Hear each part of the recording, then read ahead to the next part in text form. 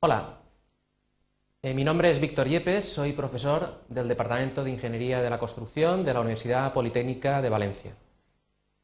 ¿Sabríais cuántas cargadoras y camiones necesitaríamos en nuestra obra? ¿Cuánto van a producir? ¿Y cuál sería la mejor combinación para reducir el coste? Bien, vamos a presentar el acoplamiento de máquinas de carga y transporte de tierras. Los objetivos que queremos cubrir son, en primer lugar, que seáis capaces de dimensionar un equipo de carga y transporte de tierras, en segundo lugar, que sepáis calcular la producción conjunta de un equipo acoplado, y en tercer lugar, que conozcáis cuándo se alcanza el menor coste o la máxima producción. Para ello, hemos dividido el contenido en tres partes.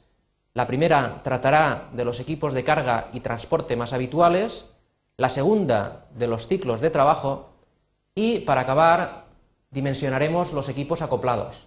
Calcularemos las unidades necesarias, la producción de los equipos y el factor de acoplamiento. Pasemos en primer lugar a los equipos de carga.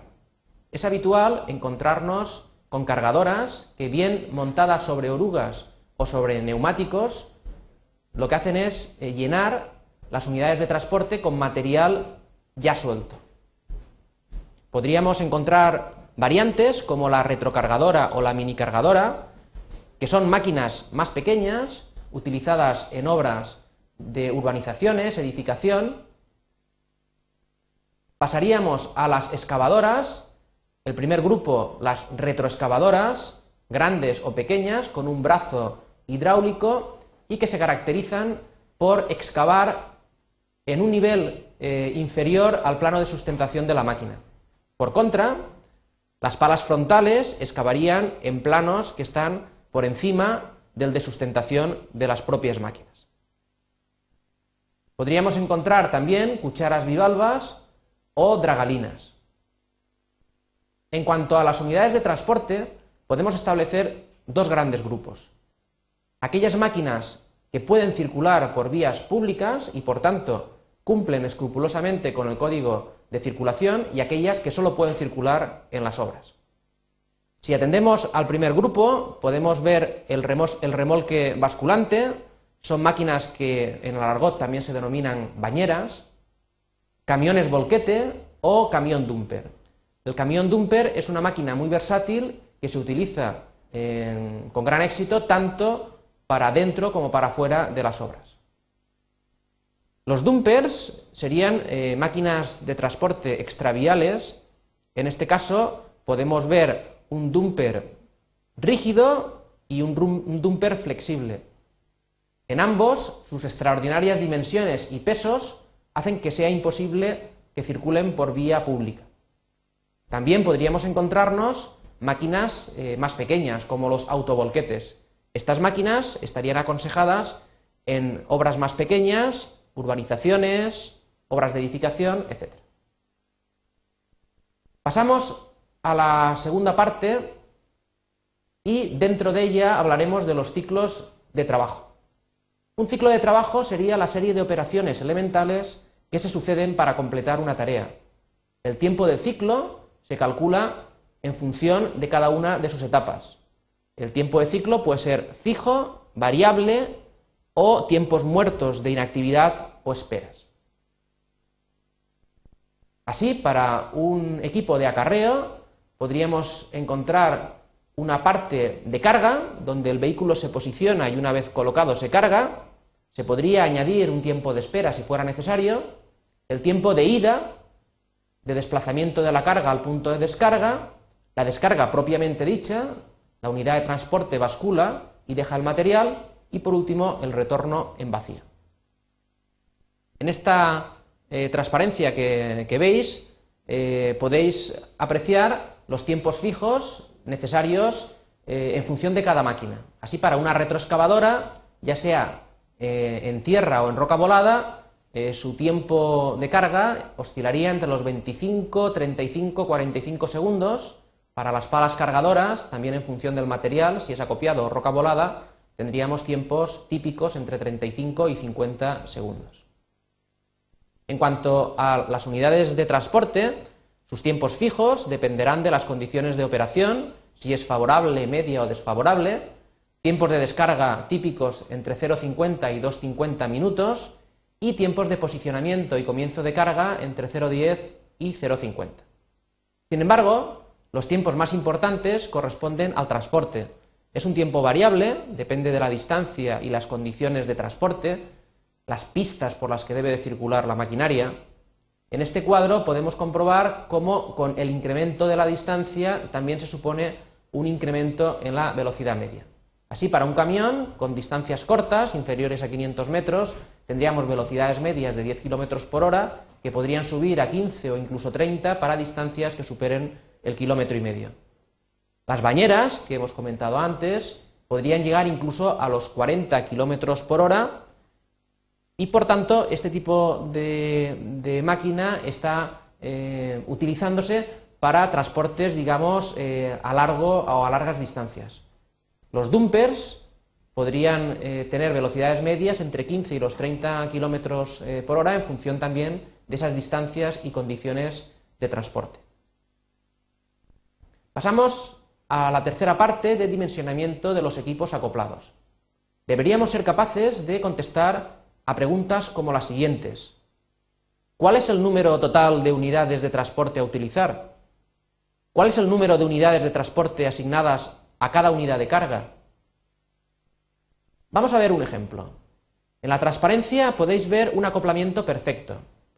Diremos que dos máquinas se encuentran acopladas cuando comparten un tramo de su eh, ciclo completo. Por ejemplo, la cargadora carga o llena al primer camión, este camión sale, se transporta el material, descarga y luego tiene que volver a posicionarse para que la cargadora lo vuelva a llenar. Durante todo este tiempo, la cargadora podría llenar un segundo, tercero, cuarto y hasta quinto camión. Si el acoplamiento es perfecto, al terminar esta carga empezaría otra vez con el primero. Sin embargo, esto no ocurre realmente.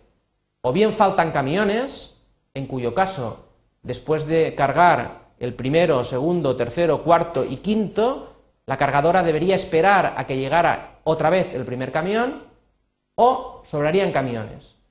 El camión primero debería de esperar un, poco de tiempo a que el último de los camiones, el sexto, se acabara de llenar. En este caso podéis ver cómo todos los, camiones, todas las unidades de transporte deberían de parar eh, un tramo de su tiempo de ciclo. Ahora ya podemos saber cuántos camiones vamos a necesitar. Bastaría con dividir el tiempo del ciclo completo del camión entre el tiempo de llenado de dicho camión. Si multiplicamos por el número de cargadoras, tendríamos los camiones necesarios para varias cargadoras. También podríamos calcular la producción del equipo de carga. La producción de las cargadoras sería proporcional al número de cargadoras a la capacidad de la cuchara e inversamente proporcional al tiempo para llenar dicha cuchara. Habría que multiplicar todo ello por un factor F sub e de eficacia o rendimiento que suele oscilar entre 0,8 y 0,9. En cuanto al equipo de transporte, sería de forma análoga multiplicar el número de camiones por la capacidad de cada camión, dividir por el tiempo del ciclo completo de camión y a su vez considerar este factor de eficiencia horaria que hemos comentado anteriormente. Bien, llegado a este punto podríamos dividir la producción que podría llevar a cabo todas las unidades de transporte respecto a las cargadoras. Con ello obtendríamos el denominado factor de acoplamiento o match factor. Sería simplemente la relación entre el número de camiones y cargadoras que multiplica al tiempo necesario para cargar una palada el tiempo total del ciclo del camión y el número de paladas. Podemos ver en esta transparencia todos los casos posibles. Lo ideal sería que el factor de acoplamiento sería igual a la unidad. En este caso, ningún equipo esperaría, el coste sería, por tanto, óptimo.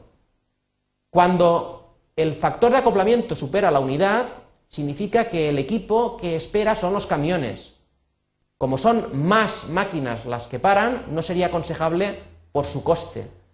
Sí que sería aconsejable, en cambio, no llegar a un factor de acoplamiento la unidad. Aquí solo esperaría la cargadora y por tanto el coste sería razonable. De todas formas, el límite lo pone la cargadora. Todo lo que produzcan las cargadoras será lo que produzca el equipo. ¿Qué es lo que ocurre en la realidad?